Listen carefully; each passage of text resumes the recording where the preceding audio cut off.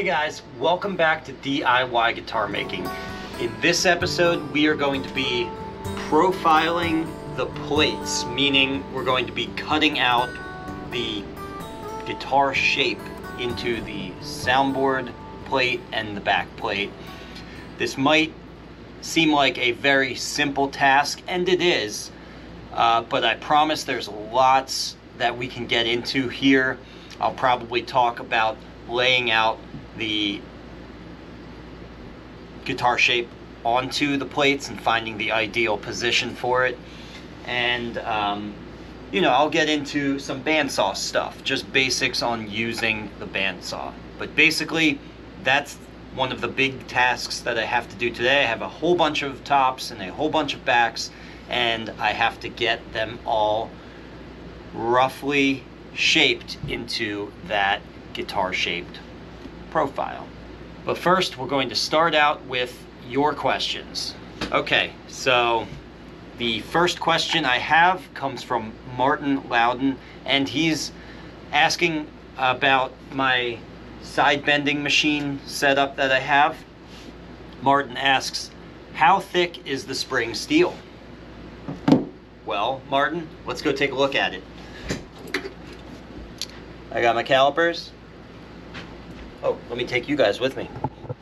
All right, so here's my spring steel after I've removed sides from the bending setup here. And the spring steel that I use is just kind of what I was able to find, and it's actually a little thicker than, at least at the time, than I would have, than, than what I was searching for. And because it's a little extra thick, that's why I've actually added these springs to hold on to the ends so that when you release the sides from the mold, these extra thick uh, spring steel slats here would otherwise have a lot of pressure pushing against your now bent side. And so it was always a worry of mine that as I removed the side from here, all that pressure from the spring steel coming back would cause something to happen with the side. Either I'd, you know, worst case scenario, crack it, or it would just cause it to spring back, which all sides do after you remove them from the mold, but it would cause it to spring back a little bit more than desirable. So anyway, I think it's about 20 or 15. Okay, I'm getting like 12 thousandths of an inch, somewhere between 12 and 15 thousandths of an inch thick, which again is, is fairly thick. I know a lot of guys go a lot thinner on their spring steel, and then they probably don't have to do something like this.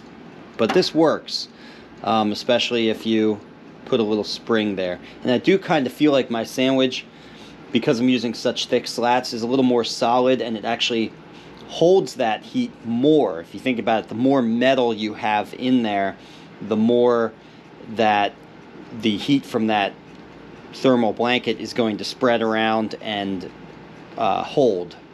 So I do think there is potentially an advantage to these thicker slats. But honestly, it was hard to find slats thinner than 12 thousandths of an inch. Okay, so that is Martin's question.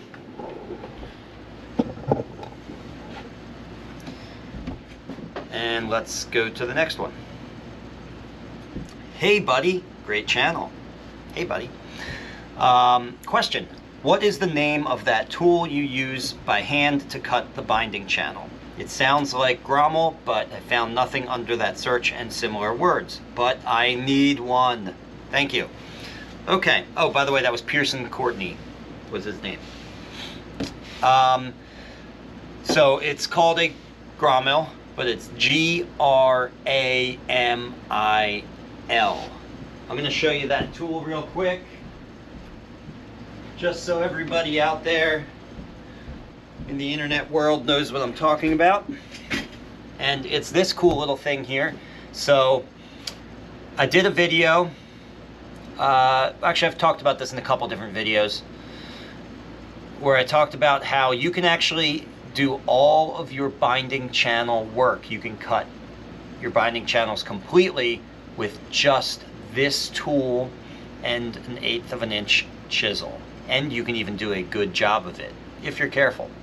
It's, it's actually not that difficult to do. Uh, so this is a great option for people who don't have or don't want to invest in a sophisticated uh, binding tower with a router bit kind of setup, okay? Or also if you just like hand tools and you don't like using loud, scary things like routers. Um, I like using hand tools, so I, I do both. I, I, mostly use the router setup, but I have done it by hand like this, and it's actually kind of uh, a joy to do. I mean, it's a little scary, but I think that's what makes it fun. And by scary, I don't mean in the same way that a router is scary. I mean a little scary because there's um, definitely the, the whole time you kind of have the sense that one slip of the hand and you're going to do some serious damage to your channels. But I think that adds adds to the fun. Anyway, it's not too hard, uh, not too expensive of a tool, very simple. G R A M I L. Luthier's Mercantile sells it, or at least they used to. Check them out. Okay, John Cook writes, Hi Eric, thanks for all your videos. As a small-time builder, I am always looking for information and secrets, he says in air quotes, from the pros. I have a question and a comment. My question first, must they, excuse me, must the top and back have a radius? I haven't had anyone explain it to me. It seems like a lot of work sanding the body and the braces to a radius also gluing a flat piece of wood to curved wood braces seems like putting undue stress on the braces. No wonder they fail. Does this affect the sound? Um, so actually, I, really want to latch on to what you said there about the braces failing. The structure, that doming structure, actually helps prevent things like that from happening. It is far more structural than people realize or think. So it's actually very important, even if you are not uh, an absolute tone Nazi, obsessed with the sound, you know, you just want to build a functional guitar. Hold on one second, I have a phone call. Okay, I'm back. Sorry about that. Um, so we are talking about the radius and John is asking, is the radius necessary? It seems like a lot of work. And yes, it is a lot of work. Um, but honestly, John, I think you're, you're trying to avoid this and really you need to just accept putting a radius, that, that it's necessary to have a radius on guitars. And here's why. The plates on an acoustic guitar are extremely thin compared to wood that's used for virtually anything else in the woodworking world. And so this wood is extremely unstable and it really wants to move. And it wants to move for two reasons. One, it's hygroscopic. So everyone kind of understands that wood movement is a thing. So wood, as temperature and humidity changes happen, that wood is going to warp a little bit, possibly it might cup, or it's going to bow outward. It's going to move. The other reason why it's moving is because on an acoustic guitar, there is a great deal of tension on specifically the soundboard from those strings being attached to the bridge and also from a sort of cantilever effect on the fretboard tongue which also comes from the tension on the strings but in this case pulling on the neck. But anyway, great deal of tension and that wood is guaranteed to move. And so if you build your guitar with dead flat plates, what's going to happen is that wood is going to go sunken. Now, the plates going sunken is bad for a couple of reasons. Mainly, it's bad because the bridge and the part of the fretboard are attached to the top. So when that plate goes sunken, you get massive splits, specifically where um, the wings of the bridge are and where the fretboard tongue attaches. Not to mention that glue joint between the bridge and the top is very likely now to not be stable and to come apart. So, and and like you mentioned, braces falling out. Well, when the, when the top goes sunken, for sure you can have braces um, becoming separating from the top, especially at those points where the splits happen. Main point is sunken is very bad.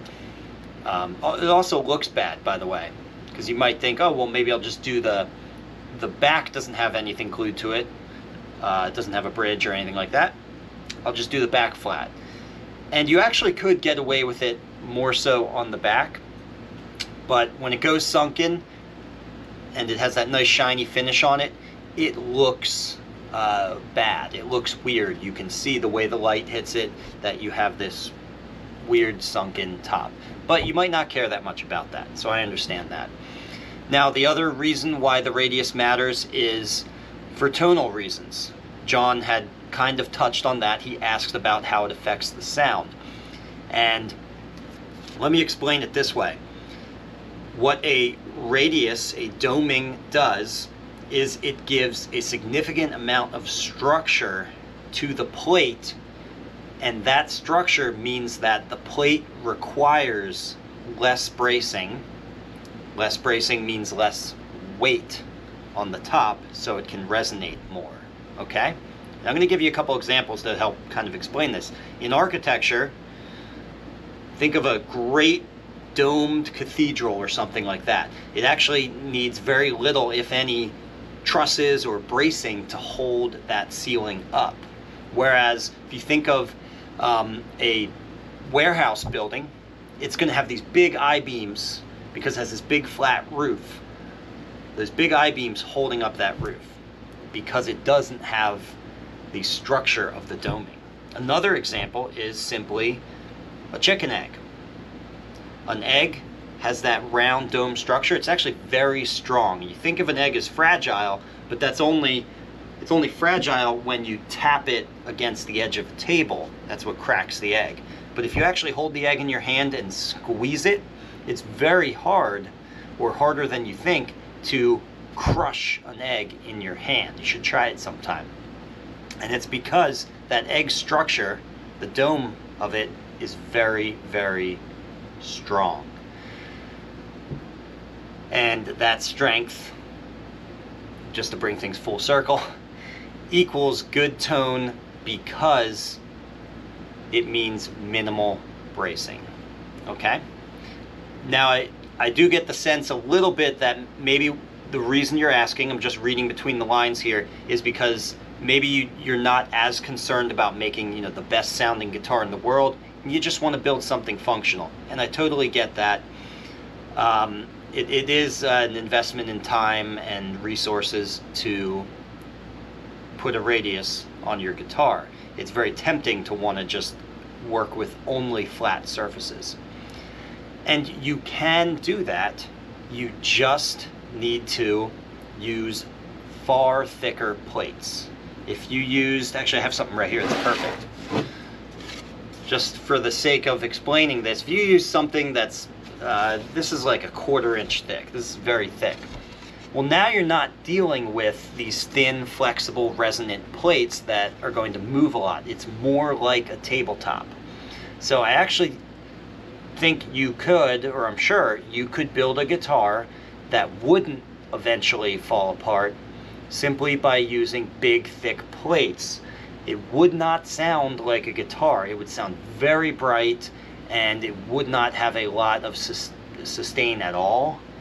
Um, but it could be functional and it could be you know just a fun thing to do if you're not trying to invest a serious amount of time into your building so i just wanted to throw that out there because you know i don't want to be too much of a snob about guitar building uh, there are lots of ways to simplify the process but you do end up with an inferior instrument and sometimes that's okay okay I think that's it for questions.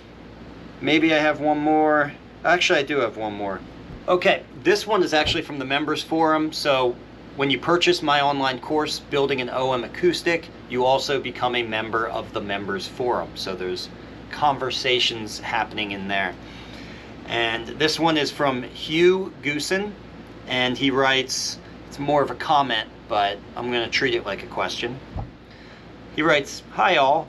Although the 25.34 and 25.4 scale lengths are sometimes understood to be one and the same, I have just discovered that they are not. And he has included here a picture of his LMI uh, template, the fret slot, fret slotting template, held up against his set of plans, and you can see the discrepancy between his template and the plans because the template is 25.34 inch and his plans are 25.4 inch. And I just wanted to address the difference there because it is an interesting thing. As he pointed out, there is a common understanding, at least in the marketing world of guitars and the world of guitars as it appears to the players and the musicians themselves that the 25.4 inch scale length is one and the same as the 25.34 inch scale length. And to players, it absolutely is. If you built a guitar to 25.34 inch, that precise nominal scale length, it would be functionally you would never be able to tell the difference between that and a 25.4 inch scale length. They're just so close, right? So, uh, in, in terminology, people just round up and call it a 25.4, right?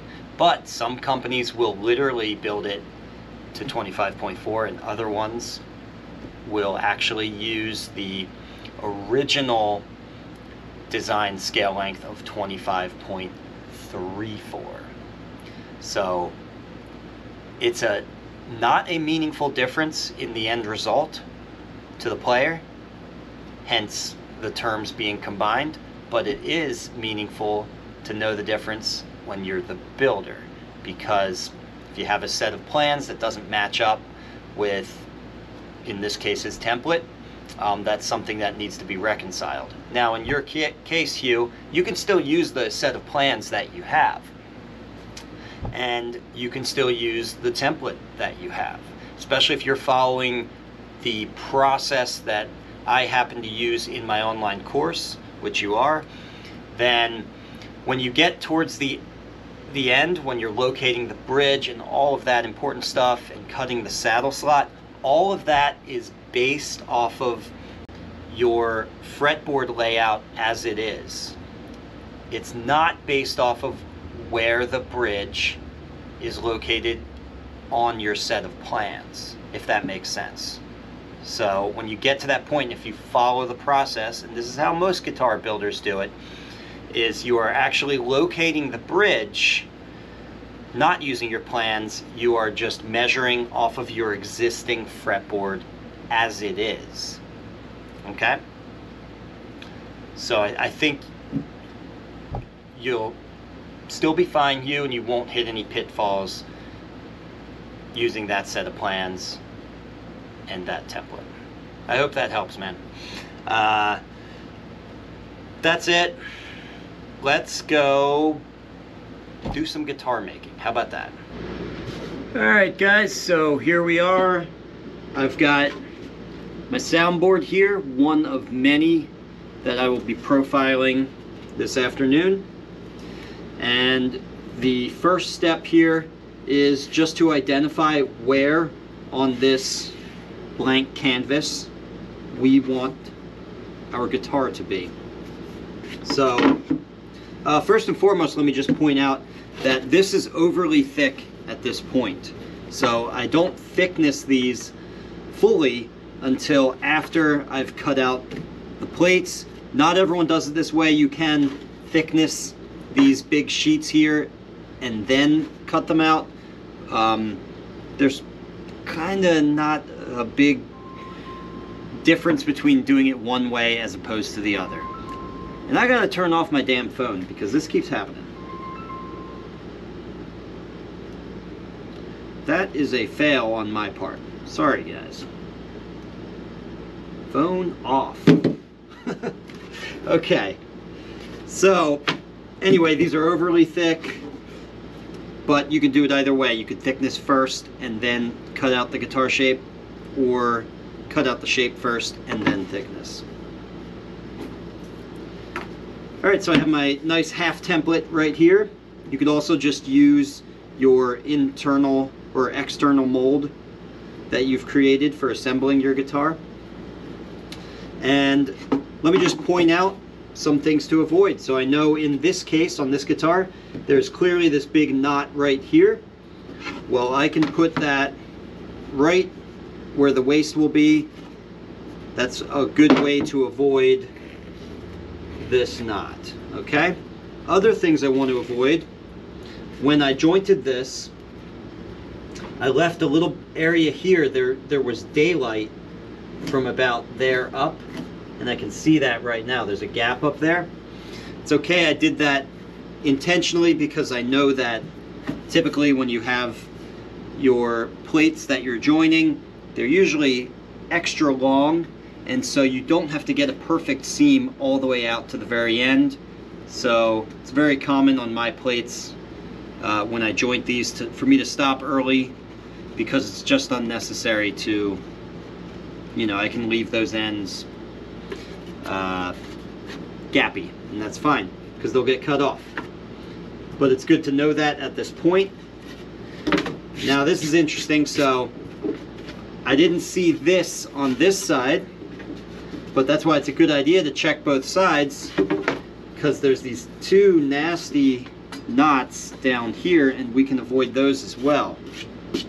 Because the thing is, you might say, oh, well, I can just choose this to be the top side, but because these plates are so thin and we haven't fully thicknessed them yet, there's a very good chance that this would start to reveal itself as soon as we started sanding on this. So to avoid that, we could also just say, okay, we don't want that area. So that actually puts me right in this spot right here in the middle.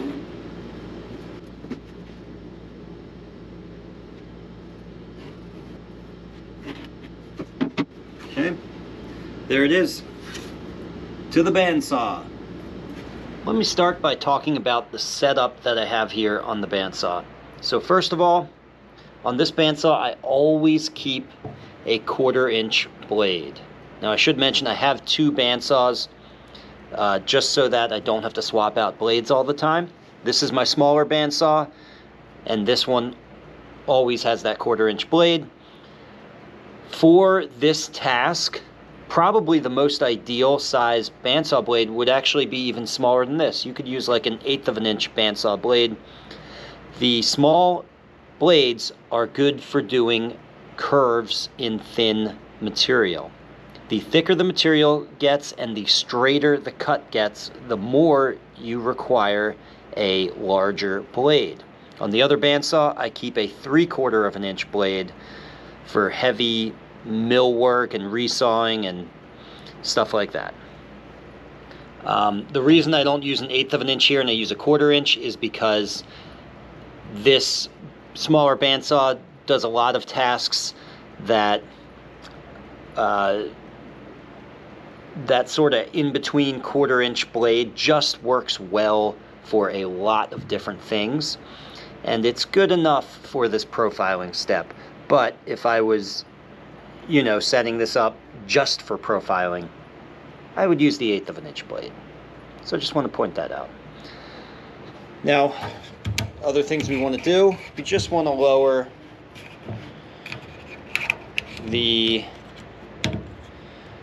um, guide bushings down here a little bit to uh, just above the thickness of our workpiece. That just keeps the blade more stable. And having your guide bushings set up as well also helps, but these are just always set up. I, I almost never have to touch them, which is nice. And here, I'll show you what the setup looks like. I don't know if you'll be able to see this, but there's, uh, I'm not sure, 16th of an inch, a little less than the 16th of an inch between the blade itself and the edge of these guide bearings. Okay, and then there's a third guide bearing in the back here. That's also important. So you want to have all of those set up so that there's just a little bit of space between the blade and those guide bearings. And lastly, I just want to point out that the guide bearings are set up so that if they hit the blade, they hit it behind the teeth, not on the teeth or ahead of the teeth. Can you see that? That's important because this blade this blade does get jostled around a little bit and when it does hit these guide bearings you don't want the teeth to hit the metal of the guide bearings. You want the smooth back edge of that blade. Alright, now as I cut this, I'm going to keep the dust collection off for now, just so that you can hear me. So basically, I am suffering, for the sake of you guys, um, the dust that I will inhale will probably take uh, days, if not weeks, or maybe even years off of my life. Too dark? Yeah, probably too dark. Okay. Um, anyway, what I like to do, you know, we've got some significant curves here. I always like to make it a little bit easier on myself, and I first just make two straight cuts into the waist because that waist, as you descend down into it and try and climb back out, it's the tightest curve in here. And with the quarter inch blade, it's, uh, it's a little tough for that size blade to handle. So I'll show you what I mean. So I just go in straight and then back out. Now this is very important. I am holding this very loosely.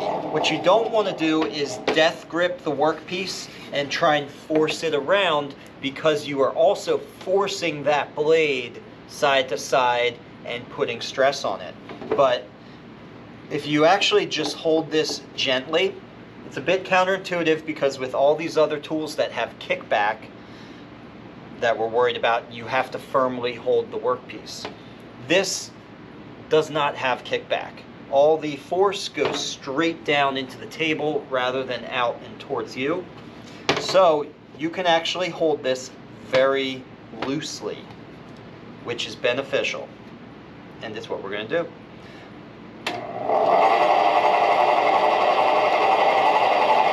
Now I'm going to do the same thing here because this part of the bandsaw is kind of in the way. I'm just going to turn this to the side like this.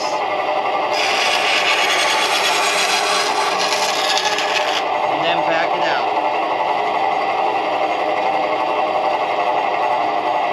Alright, now let's cut the rest of it.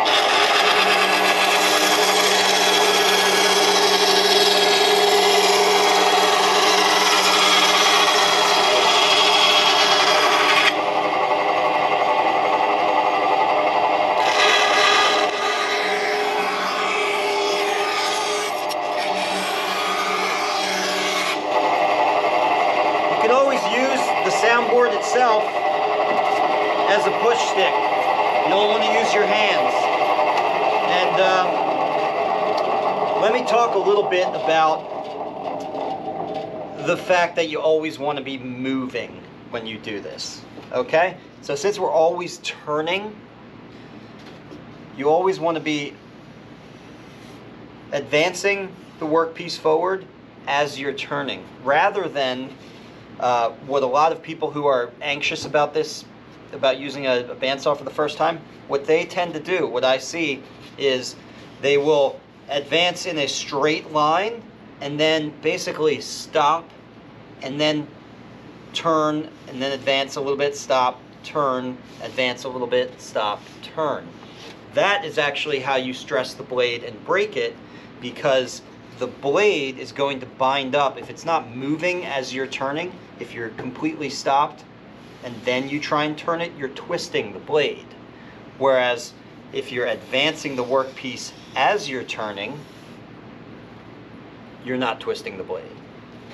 So it actually just takes a little bit of confidence to do that. You just have to be confident enough to keep moving as you're turning rather than trying to break it down into little steps. Go forward, then turn. Go forward, then turn. Don't do that. Okay.